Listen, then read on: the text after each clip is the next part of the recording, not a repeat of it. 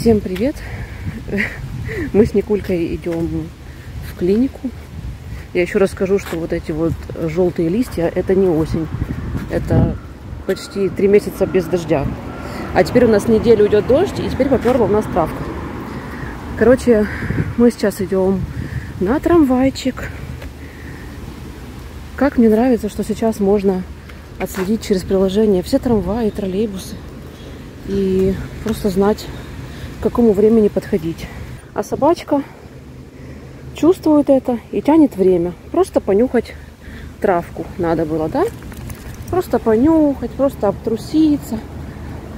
Когда собака обтрушивается, это значит, что она нервничает.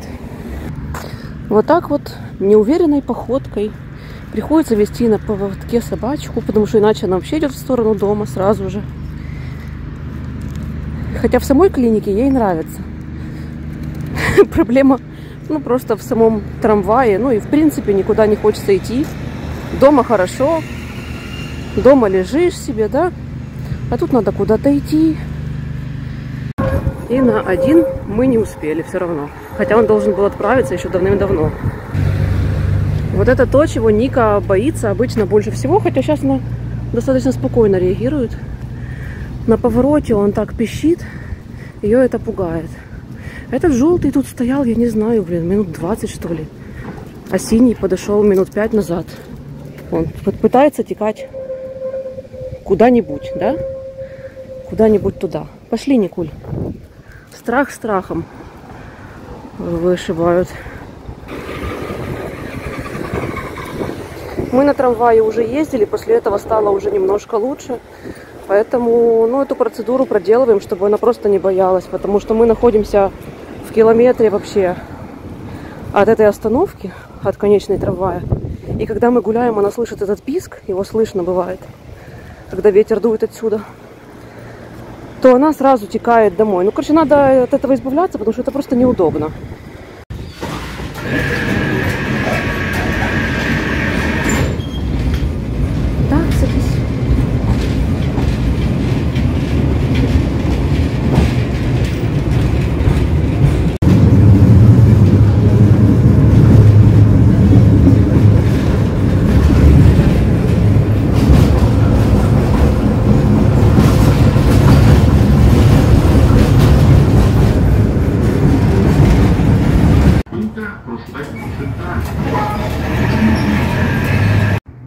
Вот мы и пришли.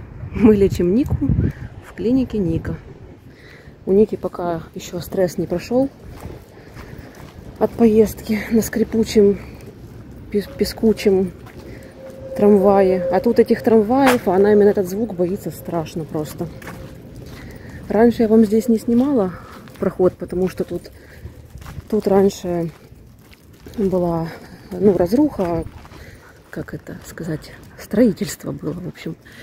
Э, брусчатку я что-то не пойму, насколько она старая. Тут как-то все раскурочено было.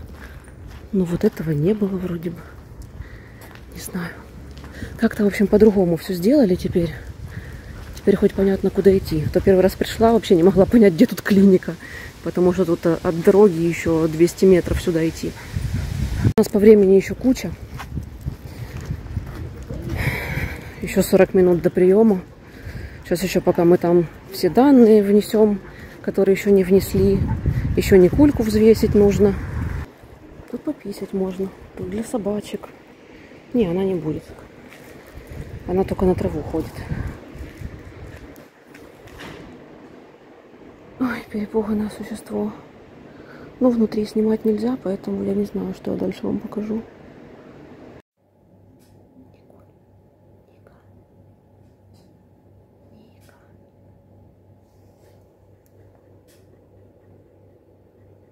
Все, идем с Николькой опять на трамвай. Сдали кровь на проверку. На проверку глистов в крупных артериях. Потому что сердечко у нас тарахтит как-то не совсем хорошо. Поэтому нам сказали, ну, желательно сдать тест. Вообще его желательно раз в год сдавать Потому что то, чем мы капаемся и то, что мы пьем, оно от одного конкретного глиста не помогает. Но я название вам уже не скажу, я его уже забыла. И, и что еще? И УЗИ. Надо будет нам сделать УЗИ тоже. Ну, сейчас после этого анализа будут какие-то результаты, и после этого уже будем решать вообще, что с этим делать. Но УЗИ, скорее всего, нужно сделать будет все равно. Никулька первый раз в жизни сдавала кровь с вены. Я неделю назад сдавала. Собака. Охранник. Охранник. Ну, этот бинтик нам сказали снять через 10 минут. Так что пока мы дойдем до трамвая, пока его дождемся, то и надо будет снимать уже этот бинтик с лапки.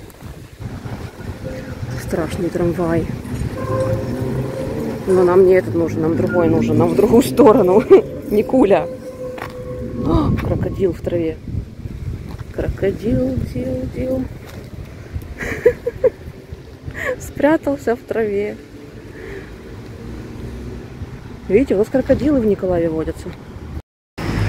Идем мы уже домой. Пережили мы и вторую поездку на трамвае. Теперь я могу собачку отпустить. Она уже спокойна, она уже знает, что мы идем домой что уже никуда мы не свернем, поэтому она будет спокойно сейчас ходить взад-вперед без поводка. Как говорят некоторые мои знакомые на Нику, бешеная креветка. Потому что она не может стоять э, спокойно, либо идти спокойно рядом. Ей нужно наматывать шаги. Такое чувство, что у нее есть задача 10 тысяч шагов намотать. И она мотает их взад-вперед. Ей нужно быстренько, быстренько, быстренько. Ну, в общем, у Никольки на данный момент 4 опухоли, которые, ну, которые я нашла, и с ней, их ей показывала. Ну, две я показывала ранее, тоже еще раз их обсудили. Получается, что у нас 4 опухоли трех видов, но как бы, скорее всего, они доброкачественные. И пока за ними нужно просто наблюдать. Э, плюс, ну, одна опухоль, которая у нее сочится, она прям кожа у нее расположена. Она говорит, что это, ну, фолликул, возможно, как-то спровоцировал. Может быть, там что-то, даже чем-то она укололась. Может быть, что-то даже укусила. Может быть, просто шерстинка растет неправильно под кожей. И оно, в общем, все это могло спровоцировать рост этой опухольки.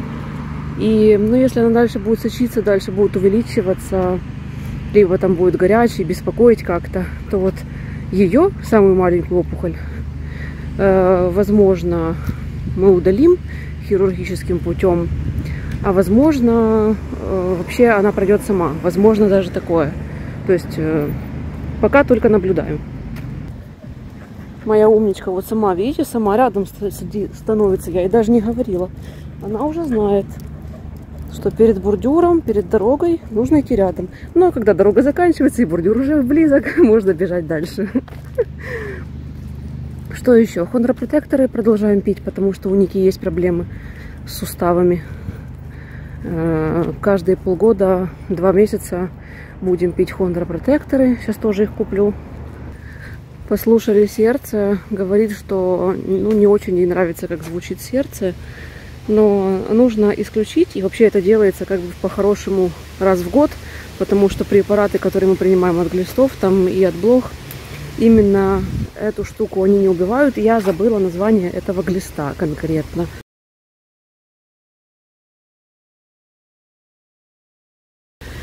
Вот, в общем, мы на наличие этого глиста сдали кровь пока, ну, раз шумы в сердце есть. Может быть, это из-за него, может быть, не из-за него.